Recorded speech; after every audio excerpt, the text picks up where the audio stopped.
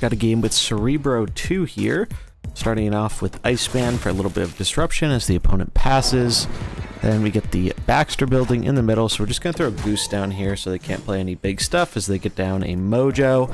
Then we see the Nexus. The Nexus is definitely a scary one as the opponent can usually leverage it a lot better than we can, so we're just going to play Cerebro down left as they get an Angela in middle. Going to follow it up with Mystique to copy our effect here, boost our stuff up a bit.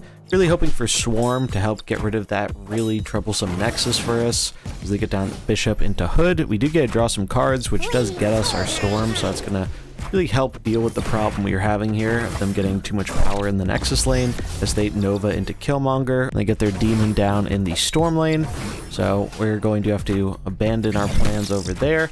That's okay. We're just going to fight for the left and middle lanes here, and that is going to essentially be enough to uh, close out the game.